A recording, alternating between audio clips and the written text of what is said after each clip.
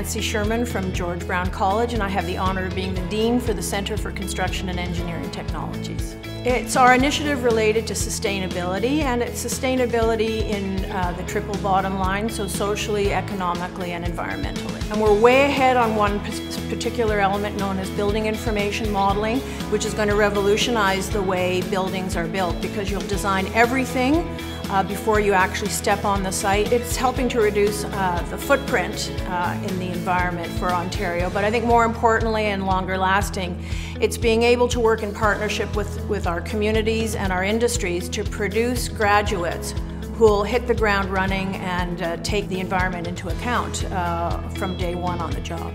Uh, my name is Stephen Sage. I'm from Kruger Products. In 2010, we launched a five-year sustainable development program called Sustainability 2015.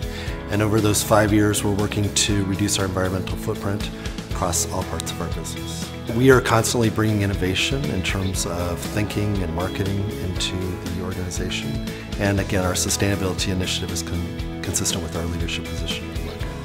I think Kruger deserves an OBAA because we're, uh, again, an example of a company doing good things. So this is a purely voluntary effort, uh, but it's something that can have a big impact not only on our business, but also on uh, the world at large. So I think that sort of leadership is a, great reason to uh, be recognized.